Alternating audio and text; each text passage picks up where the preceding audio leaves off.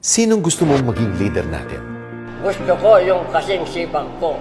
Yung nagmamalasakit sa kapwa, tulad ko. Yung may isang salita, tulad ko. Yung good example din, parang si Daddy. Parang si Mami, susundin mo dahil nire-respeto mo. Gusto ko yung ibabalik ulit ang dignidad ko. Yung pareho naming may takot sa Diyos. At marangal. Siyempre, yung tulad kong laging tapat sa tungkulin. Yung tulad naming laging panig sa tama. At galit sa katiwalian. Wow, sino naman yan? Ay, si Ping yan. Ping syempre. Ping Lacson. Si Ping! Ping Lacson po! Lakson. Siyempre si Ping. Si Lacson, sir! Si Ping Lacson. Parang ang gulo-gulo naman ng lahat ngayon. Kaya dapat, leader natin si Ping.